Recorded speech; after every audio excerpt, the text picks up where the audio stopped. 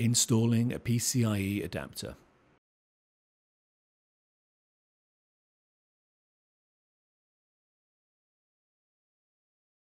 Align the PCIe adapter with the PCIe slot on the riser card and then carefully push it into the slot until it is securely seated.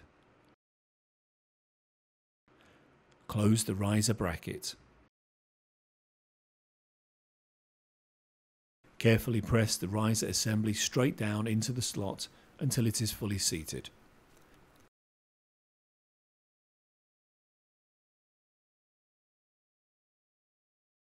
Install the top cover.